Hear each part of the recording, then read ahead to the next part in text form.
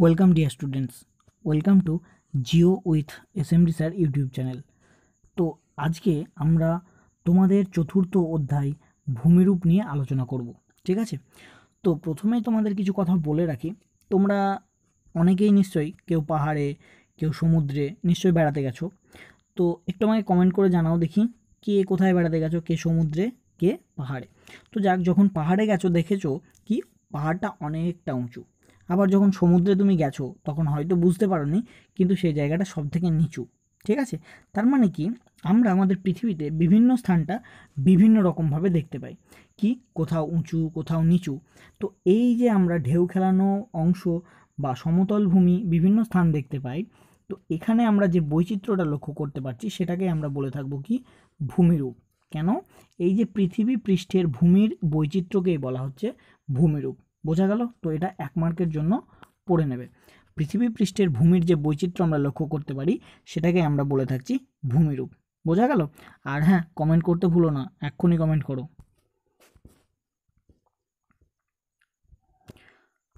আচ্ছা তো এবার আমরা জানব ভূপৃষ্ঠের সমস্ত জায়গাগুলো একরকম নয় কেন? প্রথমত আমাদেরকে এ ব্যাপারে জানার জন্য বহির্জাত শক্তি বা বাইরের শক্তি সম্পর্কে একটু ধারণা নিতে হবে। তো পৃথিবীতে আমরা দেখতে পাচ্ছি কি যে কোথাও কোথাও পাহাড়, কোথাও মালভূমি, কোথাও সমভূমি এই ধরনের ভূমিরূপগুলো গঠিত হলো কীভাবে? তো এগুলো গঠিত হয়েছে সাধারণত অভ্যন্তরীণ শক্তির জন্য।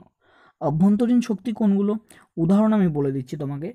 পাত সঞ্চালন, ভূমিকম্প এই সমস্তগুলো হচ্ছে সমস্ত অভ্যন্তরীণ শক্তি। ঠিক আছে? কেন অভ্যন্তরীণ? কারণ এটা আমাদের যে পৃথিবী পৃষ্ঠ যেখানে আমরা দাঁড়িয়ে আছি, যেখানে আমরা হাঁটাচলা করছি, ঘোরাফেরা করছি তার অভ্যন্তরভাগে মানে আমাদের যে ভূপৃষ্ঠ তার নিচে হচ্ছে, যেটাকে আমরা চোখে সাধারণত দেখতে পাবো না। ঠিক আছে? তাহলে এবার প্রশ্ন করবে তোমরা যে, স্যার, আমরা তো ভূমিকম্প দেখতে পাই। আমরা ভূমিকম্প দেখতে পাই না। ভূমিকম্প সৃষ্টি হয় মাটির অনেক গভীরে। আমরা শুধু সেটাকে অনুভব করতে পারি। বোঝা গেল? আচ্ছা। তো উদাহরণগুলো মনে রাখবে। একটা আভ্যন্তরীণ শক্তির উদাহরণ হলো পাত সঞ্চালন। এছাড়া আর একটা কি বললাম? ভূমিকম্প। নেক্সট আমরা দেখব বাইরের শক্তি বা বহির্জাত শক্তি। তো এই যে ভূমিরূপগুলো আমাদের রয়েছে, এই ভূমিরূপগুলোর ওপরে যে সমস্ত শক্তিগুলো কাজ করছে, সেগুলোকে আমরা বলছি কি বাইরের শক্তি বা বহির্জাত শক্তি। তাহলে স্যার উদাহরণগুলো কি কি হবে? উদাহরণ হবে নদী, হিমবাহ, বায়ু, সমুদ্র তরঙ্গ এগুলো। একটু নোট করে নেবে। তো যাক, এবার আমরা দেখে নেব আমাদের যে ভূপৃষ্ঠ, ঠিক আছে? এই ভূপৃষ্ঠে কী হচ্ছে? সারাক্ষণই আলোড়ন চলছে। কীভাবে আলোড়ন চলছে, তো আমাদের ভূপৃষ্ঠ অনেকগুলো ছোট বড় পাত নিয়ে গঠিত, ঠিক আছে? তোমরা হয়তো ভাববে যে, স্যার, পাত আবার কী জিনিস? তাই না? তো আমাদের ভূপৃষ্ঠের নিচে একটা অ্যাস্থেনোস্ফিয়ার বলে স্তর রয়েছে। অ্যাস্থেনো কথার অর্থ হলো দুর্বল, আর স্ফিয়ার কথা হলো মণ্ডল বা স্তর। তার মানে আমরা বলতে পারি অ্যাস্থেনোস্ফিয়ার স্তর মানে হচ্ছে দুর্বল স্তর। তোমরা জানো যে, পৃথিবী যখন সৃষ্টি হয়েছিল, সৃষ্টির সময় পৃথিবী কী ছিল? একটা জ্বলন্ত গ্যাসীয় পিণ্ড ছিল, তাই না? ঠিক তারপরে আস্তে আস্তে কী হয়েছে? পৃথিবীটা ঠান্ডা হতে শুরু করেছে। তো পৃথিবীর যে উপরিভাগ, সেটা বর্তমানে ঠান্ডা হয়ে গেছে ঠিকই, কিন্তু ভেতরের অংশটা এখনও আগের অবস্থাতেই রয়েছে। যে কারণে আমরা কি দেখতে পাচ্ছি? এই অ্যাস্থেনোস্ফিয়ার স্তরটার নামকরণ করেছি আমরা। ঠিক আছে? তো এখানে কি থাকে? এখানে সমস্ত পাতগুলো ভাসমান অবস্থায় থাকে। এখানে সবগুলো পাতগুলো কি থাকছে? ভাসমান অবস্থায় থাকছে। এবার তাহলে প্রশ্ন হবে যে কেন ভাসমান থাকছে? এখানে অত্যধিক চাপ এবং তাপের জন্য বা উষ্ণতার জন্য এক ধরনের স্রোতের সৃষ্টি হয়, যেটাকে আমরা বলে থাকি পরিচলন স্রোত। এই পরিচলন স্রোতের প্রভাবেই কি হয়? আমাদের পৃথিবী পৃষ্ঠের এই পাতগুলি সঞ্চালিত হতে থাকে। বোঝা গেল? আচ্ছা তো এবার এই পাতগুলো যখন একে অপরের সঙ্গে ধাক্কা খাচ্ছে বা একে অপরের থেকে দূরে সরে যাচ্ছে, তখন কি হচ্ছে? ভূ আলোড়নের সৃষ্টি হচ্ছে। আর এটাকে আমরা বলে থাকছি পৃথিবীর ভেতরকার শক্তি। এই আভ্যন্তরীণ শক্তি বা ভেতরকার শক্তির জন্য পর্বত, মালভূমি, সমভূমি এই সবগুলি সৃষ্টি হতে আমরা দেখতে পাচ্ছি। আর বাইরের শক্তির উদাহরণগুলো আগেই বলে দিয়েছি। নদী, হিমবাহ, বায়ু, সমুদ্র, তরঙ্গের শক্তি, এগুলো কি করে? এই যে পাহাড়, পর্বত, সমস্তগুলোর ওপরে কি করছে? ওরা ওদের ক্ষয়কার্য চালাচ্ছে। ক্ষয় করে তাদের উচ্চতা কমিয়ে তাদেরকে আবার আস্তে আস্তে ছোট করার চেষ্টা করছে। বোঝা গেল? তো এইভাবে কি করে? এরা পৃথিবীর সবসময় ভারসাম্যটা বজায় রাখতে চায়। পৃথিবী জুড়ে পর্বতের উচ্চতা আকৃতির অনেক বৈচিত্র্য রয়েছে। তো কি হচ্ছে? এই কারণবশত পর্বত সৃষ্টির প্রক্রিয়া এবং সময়ের পার্থক্য। ঠিক আছে? এখানে হিমালয়, আল্পস এই ধরনের নবীন পর্বতগুলো অনেক উঁচু সুচালো চূড়াযুক্ত হয়। অন্যদিকে আরাবল্লীর মতো প্রাচীন পর্বতগুলো বহু বছর ধরে ক্ষয়ের ফলে উচ্চতা কমে গেছে, এগুলো তেমন সুচালো নয়। তো উৎপত্তি অনুসারে আমরা পর্বতকে তিন ভাগে ভাগ করতে পারি। এটা হচ্ছে তোমাদের প্রশ্ন। উৎপত্তি অনুসারে কি করা হয়? পর্বতকে তিন ভাগে ভাগ করা হয়। তাহলে কি কি সেই ভাগগুলো আমরা দেখে নেব?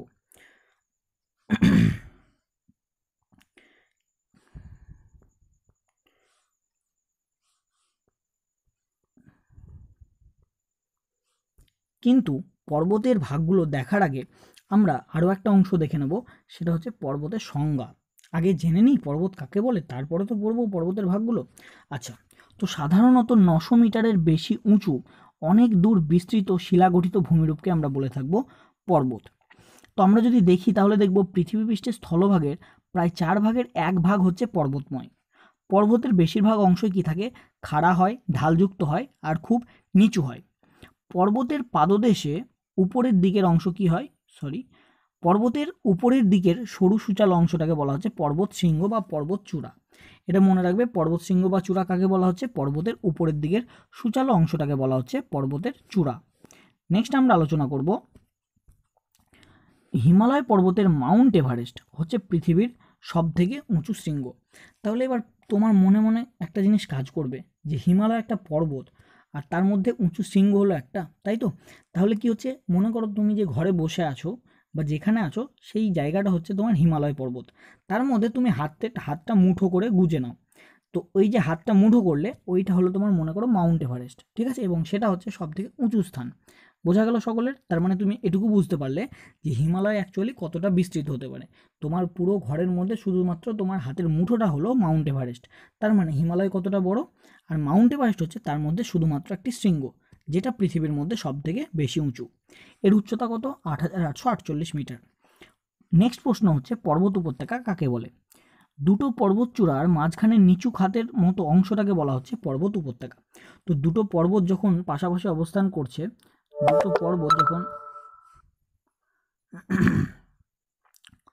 দুটো পর্বত যখন পাশাপাশি অবস্থান করছে, তো এই যে মাঝখানে আমরা নিচু অংশটা পেলাম, এই অংশটা, এই অংশটাকে বলা হচ্ছে কি? পর্বত উপত্যকা। নেক্সট আমরা দেখব পর্বতশ্রেণী তো অনেকগুলো পর্বত শৃঙ্গ আর উপত্যকা বিরাট অঞ্চল জুড়ে অবস্থান করলে সেটাকে আমরা বলে থাকি পর্বত শ্রেণি। আচ্ছা তো পর্বত শ্রেণির উদাহরণ কী হবে? হিমালয় পর্বত শ্রেণি হবে, ঠিক আছে? মনে রাখবে। পরবর্তীতে আমরা দেখব পর্বত গ্রন্থি। তো এই ধরনের অনেক পর্বত শ্রেণি যখন এক স্থানে এসে জুড়ে যায় বা মিশে যায়, সেই জায়গাটাকে বলা হয় পর্বত গ্রন্থি। উদাহরণস্বরূপ মনে রাখবে আর্মেনীয় গ্রন্থি। কী নাম বললাম? আর্মেনীয় গ্রন্থি। পামির গ্রন্থি, এগুলো মনে রাখবে। এগুলো হচ্ছে সব পর্বত গ্রন্থির নাম, ওকে?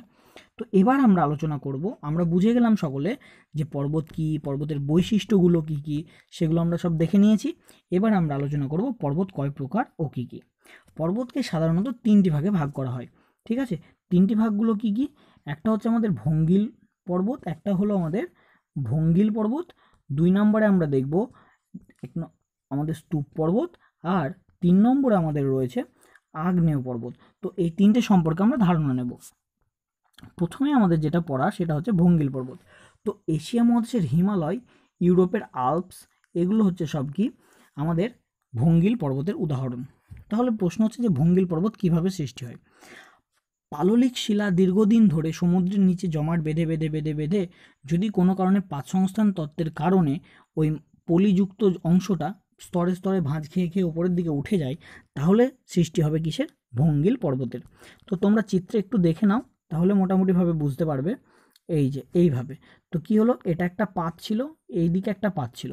দুটো পাত যখন একে অপরের সঙ্গে ধাক্কা লাগল আর মাঝের অংশে জমে থাকা পলি, এটা কি হলো? ওপর দিকে ভাঁজ খেয়ে উঠে পর্বত আকারে অবস্থান করল। তো এটাকেই বলা হচ্ছে ভঙ্গিল পর্বত। বোঝা যাচ্ছে? আচ্ছা। নেক্সট তাহলে আমরা দেখব স্তূপ পর্বত। আরেক ধরনের পর্বত যেটা, সেটা কি হচ্ছে? স্তূপ পর্বত, ঠিক আছে? স্তূপ পর্বত কি হচ্ছে? ভূয়ালোড়নের ফলে ভূপৃষ্ঠে কোনো যদি ফাটলের সৃষ্টি হয়, তো ওই ফাটলের মাঝের ভূখণ্ড উঁচু হয়ে উঠে যেতে পারে। তোমরা দেখো এখানে দেখতে পাচ্ছ, এইখানে ফাটল সৃষ্টি হয়েছিল দুটো এই জায়গায়, তো এই ফাটল বরাবর মাঝের অংশটা ওপর দিকে উঠে গেছে। দিয়ে কিসের সৃষ্টি করছে? স্তূপ পর্বতের। এই যে ওপরের অংশটা, এই অংশটাকে বলা হচ্ছে স্তূপ পর্বত, আর এই নিচের অংশ দুটোকে বলা হচ্ছে গ্রস্ত উপত্যকা। ঠিক আছে? তাহলে তোমরা কি দেখলে? স্তূপ পর্বতের পাশেই কি অবস্থান করবে? গ্রস্ত উপত্যকা অবস্থান করবে। এর উদাহরণগুলো কি কি? ভারতের সাতপুরা পর্বত, জার্মানির ব্ল্যাক ফরেস্ট, ফ্রান্সের ভোজ হচ্ছে স্তূপ পর্বতের উদাহরণ। বোঝা গেল? নেক্সট আমরা চলে যাব আগ্নেয় পর্বতের দিকে। তাহলে কি হচ্ছে? দেখো, এই যে অ্যাস্থেনোস্ফিয়ার স্তরের কথা প্রথমেই তোমাদের বলেছিলাম, এই অ্যাস্থেনোস্ফিয়ার স্তর থেকে কি হচ্ছে যদি ভূপৃষ্ঠে কোনো একটা ফাটল পাই সেই ফাটল বরাবর কি হয়? আমাদের ম্যাগমা বেরিয়ে এসে যে পর্বতটা সৃষ্টি করছে, সেটাকে আমরা বলে থাকছি কি? সেটাকে আমরা বলে থাকছি আমাদের আগ্নেয় পর্বত। বোঝা গেল? তাহলে আগ্নেয় পর্বত কি হচ্ছে? আগ্নেয়গিরি থেকে অগ্নুৎপাতের সময় লাভা ছোট ছোট পাথর বেরিয়ে এসে আগ্নেয়গিরির চারিদিকে জমা হয়ে তিন কোণা শঙ্কুর মতো যে পর্বত সৃষ্টি করছে, তাকে বলা হচ্ছে আগ্নেয় পর্বত। তো ইতালির ভিসুভিয়াস এটনা, আফ্রিকার কিলিমাঞ্জারো, জাপানের ফুজিয়ামা, ইন্দোনেশিয়ার ক্রাকাতোয়া, এগুলো সবই হচ্ছে আগ্নেয় পর্বতের উদাহরণ। ঠিক আছে? তাহলে আজকে আমরা কি পড়লাম? আজকে আমরা পড়লাম ভূমিরূপ কি? ভূমিরূপ আমরা কাকে বলব? ভূমিরূপকে কয় ভাগে ভাগ করা যায়? তার মধ্যে আমরা দেখলাম যে পর্বত কাকে বলে? পর্বতের বৈশিষ্ট্যগুলো কি কি? পর্বতের শ্রেণীবিভাগ। ঠিক আছে? তো এবার আমি তোমাদের একটা জিনিস বলে দিই, সেটা একটু মিস হয়ে গেছে। সেটা কি? সেটা হচ্ছে আমাদের যে ভূমিরূপ, ভূমিরূপকে আমরা তিনটে ভাগে ভাগ করতে পারি। ঠিক আছে? কটা ভাগে ভাগ করতে পারি? তিনটে ভাগে।